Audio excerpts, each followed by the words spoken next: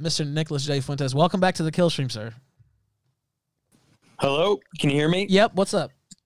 Hey, what's going on? Nothing much, man. How you been? Been all right. Been uh, taking it easy. You know, I'm uh, still recovering, but I'm hanging in there. Well, uh, I hope you're feeling better. Yeah, I know you got. In the, is that from the car wreck? Yeah, yeah. I have a couple Yeah. broken bones. So I didn't realize how nasty that was at first. I was sorry to hear that. I've been in a couple wrecks, so sorry about that. Yeah, thanks. I appreciate that. Yeah, um you know about the whole drama today, it's just disappointing, I suppose, because it's another case of people who I've gone out of my way for and really shown nothing but loyalty and generosity turning around and not reciprocating that or not paying that back. It's uh, this that one way street thing is really frustrating. You know what I mean? Yeah, actually, I do. yeah, unfortunately, uh, I can say that I do. Yeah. So, I, I, everybody saw the stream earlier, probably, or seen clips from it by now, and um, obviously, some Bake said some things, and uh, you know, and it's my opinion. I said this openly already. That Big Tech's kind of setting it up, and you know, being a little bit subversive element there um, and has been for a while. But um, still, you know, he, you know, Bake said what he said. So, um, I don't know. What were your, what were your thoughts? Obviously, you, there was a text message you sent him, and he said there was. I don't know. Well, you know, uh, it's just that it's pretty rich uh, because for the past, like, what is it, five years or something? I mean, I've literally lost friends over this guy, like refusing to say anything negative. It's actually somebody brought up that's the origin story for Teddy Feezer. I mean, are you familiar with that? yes. The super connection? chat. Yeah. That was that whole Yeah, where uh, he said you needed to drop back. So I'll tell people, by the way, he sent in a super chat and basically was like, "Hey, you know, you need to get, cut ties with Beg. This is a bad look. What are you doing?" Or, or something like that. And Nick said, "Hey, you know, I need to cut ties with you. You're a faggot, basically." And uh, did that. and then Feezer, this happens to me too, where you just block somebody or you do something offhanded like that, and they turn into like psychopaths and stalk you for years and years. Um, so yeah, that's happened to me too, actually before. But um, yeah, I, I'm familiar with that origin story, and it was because of Baked Alaska. Yeah, Well, and there's a lot of cases like that. I mean, I remember I was really good friends with this guy, Sharia. You may remember Sharia LaBeouf was his name. Yeah. And he's an old head. He was there at Charlottesville. I think I may have met him there. And and I had seen him a lot of times at those early events. And back a few years ago, he was one of the many people making a big stink about the IRL content and saying he bear maced uh, a bouncer. He he disrespected the working class by going after a gas station attendant, or he attacked a Burger King cashier. And I literally stopped being friends with this dude. Now he was being gay about it, but I literally stopped being friends with him because he couldn't let that go. And I went on a stream and debated him about it. Okay, well, what did he actually do? Well, how was it that bad? Um, and again, it's a guy I'd known for at that time maybe four years. He had been there from the beginning, tight with all my close friends, um, because I went on a debate sticking up for that kind of thing. And then even recently, like with Alex Stein, Alex Stein, I know you don't like him. I know he, uh, you know, he's feuding with some of us. Me and him were good. I mean, we were friends and everything. And then well, that kind of And then that happened. to- That Yeah, got, go I. I was just gonna say I got caught up in that too, really, uh, where that that ended up like catching me, you know, uh, because of that text, and then he started getting more and more hostile Stein towards just like this area of the internet, and I feel like that was kind of like the start of beginning of the end. But I will say this: he did message me, by the way, and was nice and and said uh, some nice things, and so. Um, I, you know, I tried to bury that one. I'm, I'm not really trying to feud with him. I'll just say that. uh, he said some nice things. So I was trying to be on a truce with him. I, will just announce that. I don't know if I said that publicly, but yeah, he was he said some nice things. So he was happy to see me getting better and stuff. Well, and there's really no reason there should be animosity between me and him or Groypers and him, but there's one person, and basically that person is entirely at fault for sabotaging that relationship, basically on a false pretense. I mean, the the text message was fake, right? You remember that? Yeah, the Marjorie Greene, Alex Stein text, that was fake. But that snowballed into now Alex Stein, everywhere he goes, he has bad things to say about Groypers because of a feud he has with one person and I'm getting in a fight with Alex Stein over text saying, you know, you you should let it go, you should drop it, blah blah blah. Going and it goes back to the alt right apology video, which is manufactured by Ashton Whitty, and it's just like time and time and time and time again, like over and over and over. You have just like unimaginably stupid shit.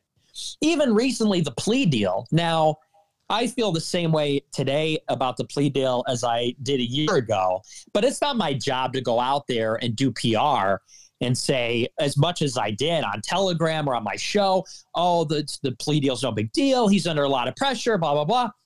So it's like, how many examples do you have to come up with over a five year period where, and that, but by the way, but that's what loyalty means to me.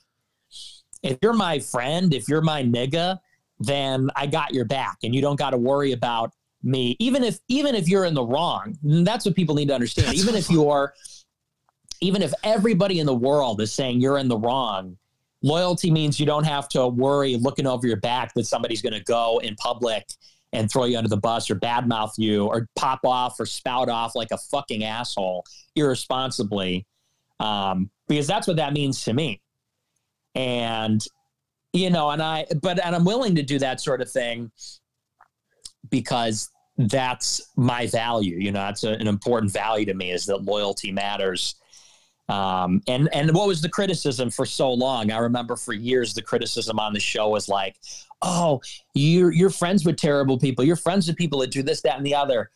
And I'd always say, "Well, I don't disavow my friends," you know. So, so that I mean, that's really the only thing the only thing that I have to say about it is it just gets very tiresome. Um, you know, because that's already happened to me so many times in the past with other people. And it's like you do something for them, you do something for them, you do, and it almost becomes like a parasitic relationship because at, at some point it's like you do so much for a person, they do nothing in return. And then when you stop supplying some sort of uh, advantage or you stop supplying some sort of benefit and then all of a sudden they decide oh well uh, well now i'm i've got my own now i have my own opinion and now i don't you know now i got some stuff to say about you that you might not like but yeah you got to take that because hey man i can say whatever i want and this and that and it's not the first time it's happened before and i'm sure it won't be the last but it's just disappointing. You know i feel like i don't deserve that but you know, what are your thoughts? I mean, you've witnessed well, the whole thing go down. You know, I, I, a couple things. You know, I think um, I hate to see it. You know, I yeah, I used to be obviously I had a well known feud with Baked, and it was pretty nasty. Um, and I got to know him, and you know, I I, I like to think he's a friend. Um, you know, um, but look, I saw the stream like everybody else, and I you know I didn't like I didn't like it. Um, I think part of it is the jail. Probably, it's different when you go to jail now look, he was. I mean, how many days did he end up doing? I did eight months in jail. Um, when I was not as famous as I am now, not even close. Uh, and uh, it was very lonely. But uh, it was a lot longer, so I'm not diminishing his time. But you know, I'll just say this: I he basically got out. I was gonna mail him a letter, and I meant to, and I, I am sorry that I didn't. I think he might be hurt, maybe by some stuff like that. Um, which I mean, I, wasn't trying to ignore him. I hope he's not mad at me. I wasn't trying to ignore him. Literally, I just haven't mailed anything from Mexico, and uh, by the time you know, I was like, okay, I'm gonna do this. They said he was getting out next week.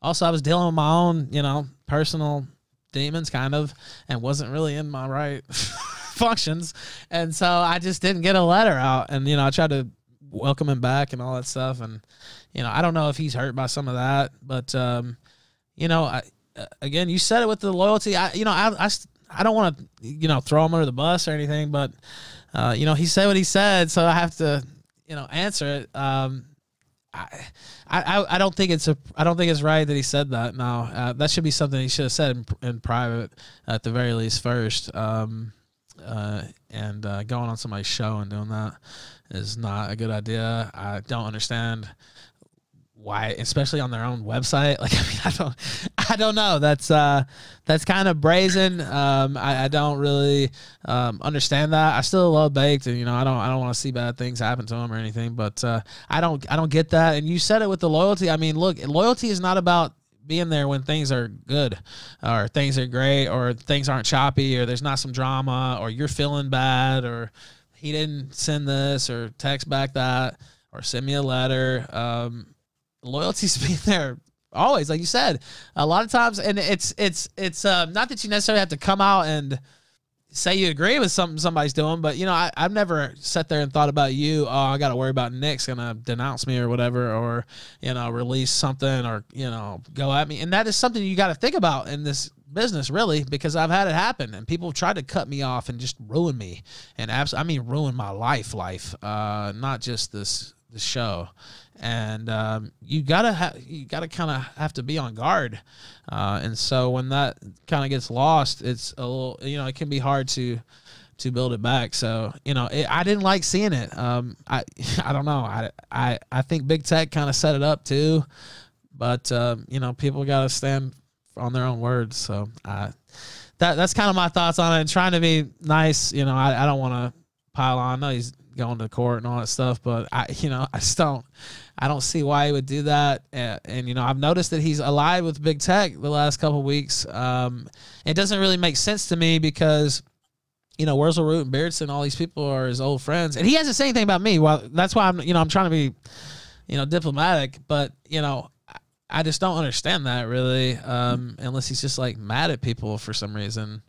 Um, it just it doesn't really make sense. So, um, it didn't escape my eye though. That's you know what I mean. Like I, I can't help but notice it, right? Uh, that you're aligned with with big tech, and um, you know, big tech's kind of going at, at a lot of my friends, and you know, I don't like that. So that, those are my thoughts, I guess. Well, he should go and stream on uh, his own streaming website. Oh wait, that didn't work. Uh, his own streaming website was a total failure, so he had to stream his show on my website where I pay for the bandwidth for years. Oh, but let's just forget about that.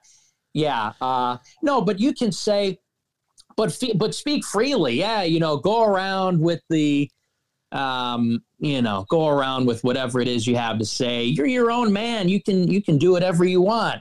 Let's just forget about how you couldn't stream on your own website because you can't build a fucking website. I mean, I had developers literally threaten to quit working on Cozy because he was going to be streaming on this platform because of his content. And it's like, so if that isn't just the most rich thing in the world, I mean, to me, it's just totally black and white. It, they're just things you don't do. And uh, somebody that I've known for such a long time, somebody that I considered a friend for such a long time, but no longer, uh, it's just something that is just totally unacceptable. So, you know, if people want to, if people want to debate it out or whatever, the the issues or something, you do. If you're friends with somebody, you do that in private. If you're on the same team, if you're on the same page, you do that in private. You don't go out. Nobody does that, and it's called family business. You know, when you're family, and especially when you're, and, and I don't think I'm using that term loosely. If you're a ride or die friend of somebody for years, you consider yourself a part of it. You got my phone number. You text me, you know, I pick up the phone. Uh, you deal with that in private first. You don't go out and, ha- and handle uh, disputes between people with that kind of affinity out there in public and do it that way. That's just you know well. at that point then what what's the you know you might as well then just be adversaries. You might as well just so if that's how it's going to be then you know okay that's how it is. But um you know but i expected a little bit of a different treatment from somebody like that although i shouldn't be surprised but um you know but i guess that's my fault. So yeah so it, it's uh it's a pretty nasty thing but you know the thing is about people like big tech, which, you know, I don't hate big tech totally. I know you're not a fan. Well, I don't hate him. Uh, That's why I was trying really to keep funny. it above board with what I was saying earlier. Um, and you know, I was trying to be fair there with what I said, but you know, it's you know, I started out with you got to say that in private. Right, like you have to come to somebody first in private with those kind of words, um, because that was, I mean, it was hostile. I don't know what to say, um, and I, you know, you can't argue with that. And so, um, but uh, big tech, you know, I don't hate him I, you know, I don't despise him or anything. I just, what is he doing, right? Like, I mean, it's turned into an anti, like almost an anti cozy channel on cozy. I mean, I don't know what to say. Like, um, that's my opinion, but um, you can give your thoughts. More importantly, well, whatever you think about big tech, he is a character who it's actually super helpful because you know, it's like you said earlier, big tech doesn't force people to say anything. Other other people don't force people to say things, but there are people who come into your life. They may be an extremely negative force, but what they do is they sort of reveal to you who your real friends are. And I've had that happen to be a not insignificant number of times where something negative, like a negative force, will come in and, even though I wish it didn't happen, even though I wish it wasn't there, it does tend to elucidate for me very clearly who really has my back and who doesn't. Um, it's happened many times throughout the history of my show and my career and everything. And so, in some sense, you almost it's like it's like how God allows sin into your life, or, or I should say, temptation, right. or bad bad things, yeah. or demons, or Satan yeah. to operate in the world. It's like in the book of Job. You know, God lets the devil take from Job. I'm not saying that one to one here, but I'm saying the point Big tech equal, equals Satan. We got it. Place. We got it. No, I'm just kidding. What's up? I said big tech equals Satan. We got it. No, I'm just kidding. I was not, not quite, but but you know, I mean, there but there are people who roll in and uh, bring with them a lot of negativity. But what they will do is catalyze people to respond in a certain way, and you, you kind of can tell what's going on. So, um, so I agree with you. I mean, there does seem to be a lot of anti-America First sentiment coming from his live chat and from right. That's what I'm saying. I mean, know, I saw people in there and they're like, know, Nick might be over now, and like all this stuff, and the stream, and like, oh, is it over now? Like, it's just like complete. I'm like, what is this? Where, where am I? Like, this is ridiculous. I don't. I mean, there's one thing like to have an opinion or to like, man, I'm worried about something or this or that, but it's just complete. And they're trashing Wurzelroot and they're doing this, and I mean, I don't know. I'd like to see a lot of people put the hostilities behind. You know, I don't want to. You know, there's fighting in other areas too. You know, that's true. When he says that, that's true. But I don't know. It's just got a different flavor. Yeah, and I don't really pay too much attention to that if I'm being totally honest. Yeah. I mean, I got my own stuff going on, but um, yeah, you know, so I, am not really too worried about that yeah. sort of thing. But um, you know, I expect better from other people. That's I expect better from my friends, and uh, that's I think that's really all there is to say. So you know, it's disappointing, but it is what it is. And, um,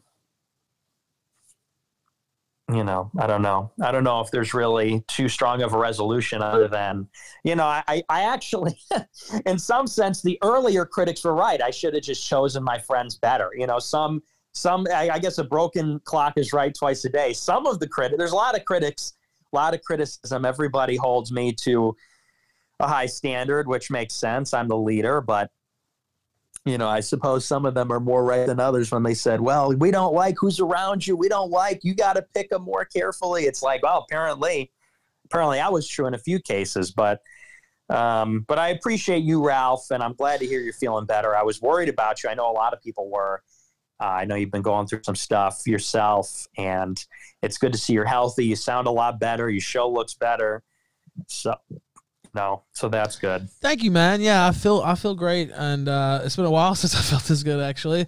And you know, with some caveats there, you know, I don't have it, my you know, there's a few things I got put back together there, but uh, still, I'm I'm optimistic about everything and uh, feeling good. So thank you for that. And you know, I'm sorry it's kind of a you know, it was good to have you here on the show. I, we'll, uh, you know, I won't let you go to shit in a minute, but um, I hate that it's these circumstances, of course. But uh, it was good to have you on the show. I, you know, um, obviously there's some other stuff going on too. I don't know if you want to talk about any of that stuff um, uh, with um, well with the campaign and all that, but um, that might be for another time. I don't know if you want to get into that too, because that was another topic there. I guess um, some of the uh, what was it, the rave or whatever. I saw that, and uh, that might not be able to be spoken about though. So I don't want to step on any toes. If you don't want to talk about anything on that score, that's fine.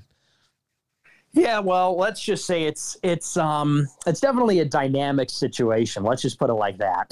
Right. going on behind the scenes. Um and you know, I mean, I saw the rave like everybody else did. I don't care for seeing the cross on naked women like that. I'm not really It's a little tacky, yeah. That was a not a well, I think ta- that's one way to yeah, was a kind way to put it. You could say. Yeah, there's another word for it too, but I yeah the So, you know, I've got to I've got to evaluate a little bit because there's it's just some of the things that are some of the things that are going on. Um, well, let's just say I'll, I'll have an update soon. We'll we'll see what happens, but um, but yeah, little little dynamic. So I can't really speak too much That's on right. that at the moment, given Sure. my position. But um, but I'll probably talk about it some whenever it's resolved. Whenever uh, you know, whenever I whenever I can, I should say, whenever I'm able to give an update. So That's right. And people keep in mind there's certain things he can and can't say, and then I mean, you know, and there'll be a day for that to be said. But uh, I appreciate you giving me even that much. Uh, that's why I didn't I didn't know if I wanted to touch on it or not. Um, but I'm, I'm glad I did. Um, and like I said, I, I appreciate you coming on. Um, I hate it was about this, but um, you know, uh, unfortunately these things do happen uh, in this in this game. So uh, sorry that it happened today, but. Uh, you know, I'm always with you. So, uh, cozy.tv, I'm here. Um, things looking good to me. So, um, I, I appreciate you coming on tonight. If you want to say anything else, you can go ahead. Mm, I think that's everything. I got a collaboration coming probably tomorrow with Leafy, Uh-uh. so people can look forward to that. I'll be joining him tomorrow. I was about to, literally, just about to go live with him tonight, and then his internet got killed. So uh, Destiny probably at fault. I think Destiny sent a DDoS attack. So he's uh, he's he's been disabled for the evening. But I think tomorrow I'll be doing a stream with Leafy or whenever his next stream is. So be Very looking cool. forward to that. And then um, yeah, I think that's about it. But you know that that's all I got for you. But thanks for Thank you, having me on. Good Appreciate to hear it, from brother. you, buddy. Glad you're okay, and we're rooting for you. Hang in there, all right? And Thank you, uh, man. I'll talk to you soon, okay? Talk to you soon. Take it easy. Nicholas J. Fuentes, the All right. boss. Take it easy, man. Thank you for watching this clip. This is the CACA Loaf, and remember to like and subscribe.